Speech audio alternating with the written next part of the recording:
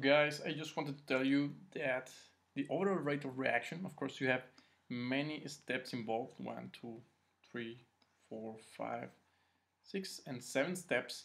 And I wanted to show you essentially that it's about mass transfer uh, phenomena, right? One, two, three, actually one, two, and six and seven. These guys here involve this is about matter, external and internal diffusion. This is mass transfer. And these guys right here are more into kinetics or reaction kinetics.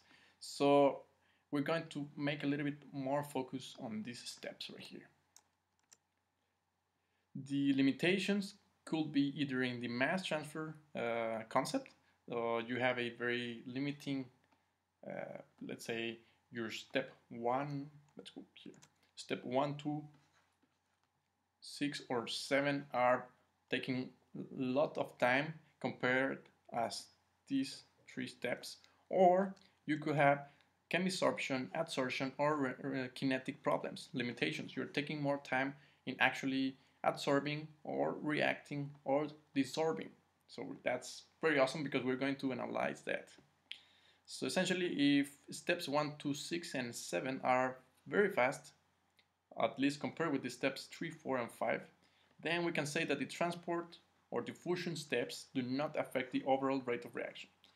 We're going to say that the overall rate of reaction is limited by our uh, kinetic or chemisorption concept, which is essentially right here. This is step 3, 4, and 5, which is about chemisorption. And this is 1, 2, 6, and 7, which is mass transfer phenomena. Once again, let me show you that this scope that we're going to analyze the most is of course step 3, 4 and 5 which is more about reaction per se.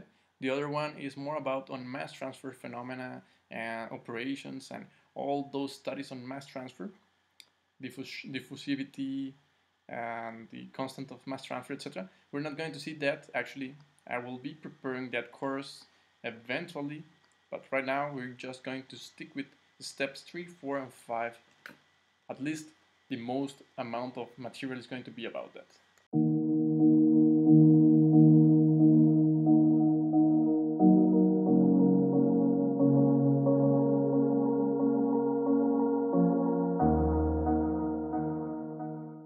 What's up guys, it's me, Chemical Engineering Guy. So if you like the video, why not push the like button?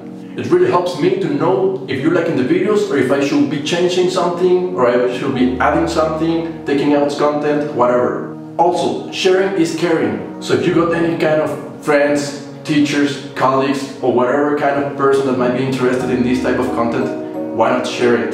Sharing helps our community to grow faster in members and in content. If you want to keep track of my activity, videos, uploads, experiments, playlists, whatever content I'm getting on YouTube, be sure to click the subscribe button. Subscribing to the channel is totally free guys. My dream is to create an online academy of chemical engineering where everyone can access it in the world. Imagine a place in which the student, the teacher and the engineer get the best of each other